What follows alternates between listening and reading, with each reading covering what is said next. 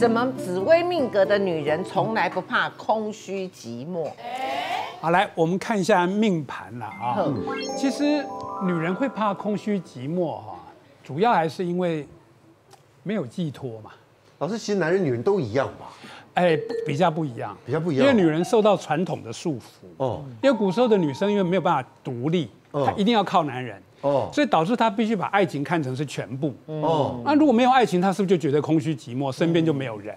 啊，但是因为现代的人，男生女生都可以独立啊，经济都可以独立，是，所以大家一定要去改变这个观念呢啊，就是你怎么样去培养，让你自己哈有重心、有寄托，而且不要把爱情看作是全部，是很重要哦。嗯，对。来，我们先来看一下，从紫微斗数来讲，有三颗所谓的孤星。哦，孤独的孤，孤客之心。来，我们看第一颗就叫七煞。好，啊，你看七煞哈，我们玉峰就是七煞，对不对？对。可是我是男生，还好吧？你是女人，你是男生。我我我今天是女生。啊，你今天当女生好了。好好好。你想想看，七煞的男生多好啊，对，对不对？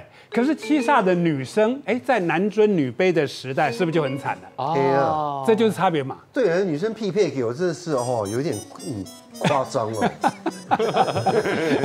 所以我们讲说，七煞一旦觉得我今天如果要跟男生在一起，我必须要委屈自我，哎，我必须要配合他。从七煞的角度，他怎么会快乐？对。所以这时候他能够去转念断舍离的话，哎，我一个人我反而可以追求我自己想要的，有什么不对？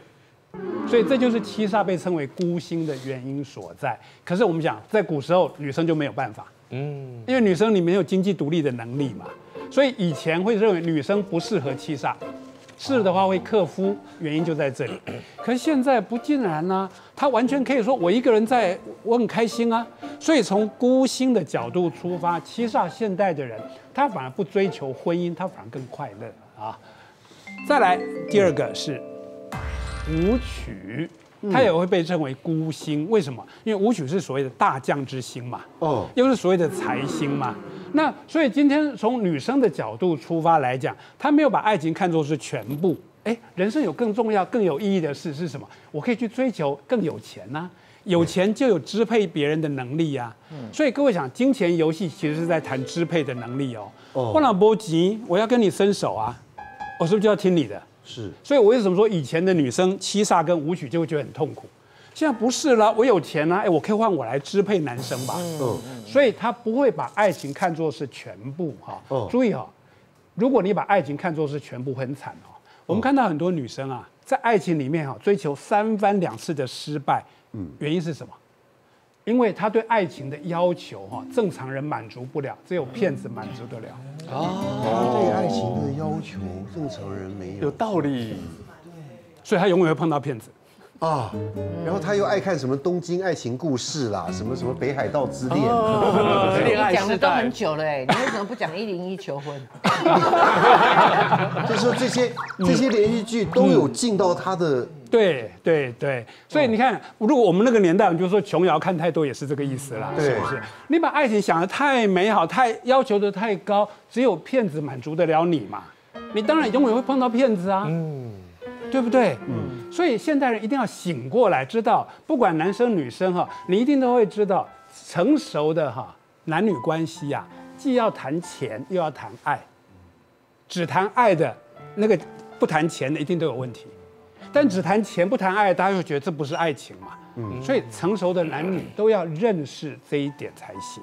嗯，这你看我们刚刚讲舞曲，爱情不是一切，钱可能比爱情更重要的多了。嗯，从现实来讲，这个听起来很现实，可这是真正的人生嘛？对啊，好，所以注意刚刚讲到的哦，如果你的爱情观正常人满足不了你，你就永远会碰到骗子啊。嗯，好，牢记在心。再来，第一个是太阴，他也会被称为。你十波很要紧，但今天两个人十波拢不要紧。对，没错。哇，高仁和警官是太阴作命哦。天机天机啊，天机太阴，你看的哈？所以文以为哈，就就就文以为。就乖张哦。我跟他小，我跟他小白兔。小白兔。对，可是女生跟他小白兔嘞，跟人相处的话，他就失去自我了。一旦失去自我，他会不会觉得，那我一个人我可以追求我自己，反而更好？所以我为什么一直在强调，现代的女生是幸福的，以前的女生就像那种我们讲枝藤哈，你你一定要去攀在一个大树之下，否则你就没有办法独立。就是人家说《后宫甄嬛传》为什么要咬成这样子、撕成这样子？对对他没有办法，他只有靠那个机会。他一定要生一个小孩，否则他就没有未来啊！你看那皇帝一死了之后，他们有多惨呐、对不对？可是现代的人不一样，所以这三颗以前称为孤星，在现代而言反而都是什么？独立自主的女强人的特质，所以没有坏处啊！大家不要害怕孤独，越认识自己的人，越会享受孤独。加油喽！哦，老师，那多问一个，那那种男生，我们看这种社会案件，那种男生一谈了恋爱就跟人家勾勾敌、勾勾敌都不放手，这种，对像刚刚那个，对啊，那那那是什么啊？那是什么男生哈、心的有太多需要去证明自己的 哦，所以这这就两个完全不同的特质。哦所以你看，以前有一部片叫《大开眼界》，不知道各位有没有记得这一片？汤姆克鲁斯跟他老婆当年两个人演的哦。他里面讲的一角度就是什么哈？哎，他他说哦，男生啊哈，在性的前面哈，眼睛哈。其实他就睁开，专门一直在找女生。可是女生不是啊，女生在爱的前面眼睛会闭起来，就哦，我在享受爱的过程，我就不在乎了。所以他就讲，男生跟女生在追求爱情的方法是完全不一样嗯。男生就是几乎都在为了证明自己哈，充满了男性荷尔蒙。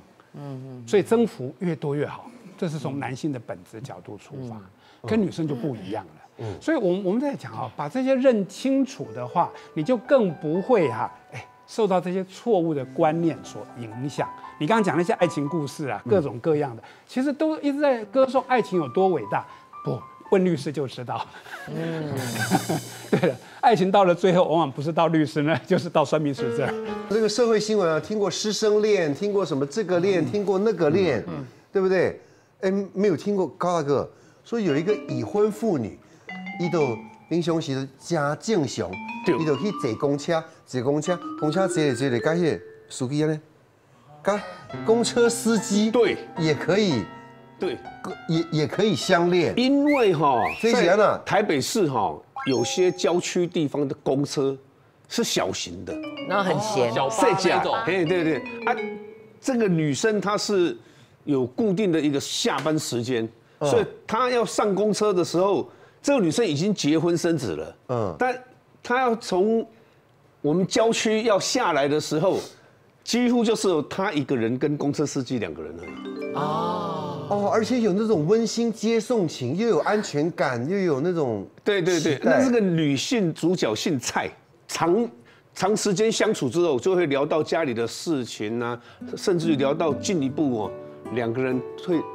进化变成谈感情呐、哦，啊。谈感情之后哦，这个公车司机真的跟这个女生在一起公车司机结婚了没？没有？年几岁？女女生结公车司机三十几岁，那女生已经四十来岁左右，差不多贵。你别讲，如果没有法律问题啊，这一段还真的蛮浪漫的，对，是不是？相处久了一段时间哈，他们就是常常公车司机或者是那个女生没有上班的时候，他就会开着车到南中南部去约会啊，去旅游啊，开那个。巴士啊，公不是你无上班啦，开自己的车啦。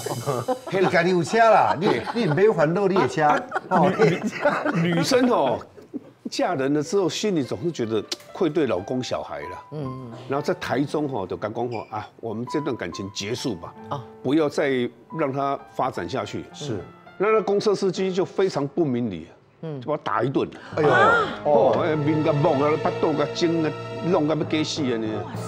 他是，就把他狠狠地揍一顿，那女生就怕了啊。嗯，耍定公就山上也不敢上班了啦。嗯就是不敢上班之后，公车司机这个姓谢的公车司机进一步哈、就恐吓这个女生，你不给她甩，你不要不给我出来谈谈清楚，你给我试试看。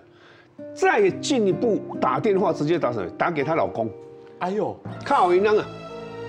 啊，她打给她老公，跟她讲说，我不找你，我找谁？我就是要找你，你给我出来，你不出来，我就去某某国小堵你的小孩。哎啊，呦，恐吓她老公。哦，啊，老公嘛勾引了，也连带了小孩被影响到，老婆就得了忧郁症，嗯，啊就想不开会，哎呦，哎，想没想没亏，想有轻生的念头，这个老公变成了哦短暂丧失失忆症，同样的恐吓到了这个老公的岳母，就是这个女生出轨这个女生的妈妈，出面来协调的时候，这个公车司机还恐恐吓他妈妈，嗯，你呀插进来，我连你最近怕。太太跟老公后面当然就离婚了啦，嗯，哦，我多这个老公也坚持不下来，那太太也离婚了，跟这个司机提出告诉，就是恐吓、性侵，还有跟那个伤害，哎呦，那结果其实法官判得很轻呐。啊，法法官就判赔啊，对，就说哦，这个司机判哦有期徒刑几个月这样而已啦，然后要赔这个老公几十万的哦，三十万呐，啊赔这个妈妈十万块了，啊赔那个女生四十万了，这个司机两手一摊没办法啊，没规定来规的，所以我们以前讲一句话哦，那个法不入家门，那所以我们也无能为力啊，很多警察知道这个事情的时候也无能为力了，没有办法对这个司机进行任何的。处罚，唉，所以宝贝们哦别高啦，嗯，哦高了像安尼出代志都害啊。受欢迎的命理大师现在都在命运好好玩开运服务，包含神准算命、开运商品、开运秘法，请上网搜寻命运好好玩。